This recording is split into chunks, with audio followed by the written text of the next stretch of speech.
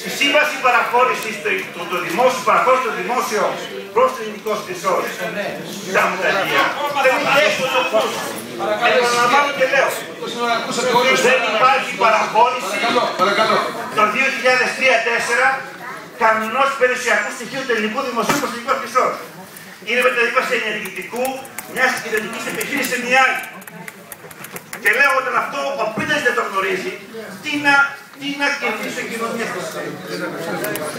Πάμε στο επόμενο. Αυτό να είναι.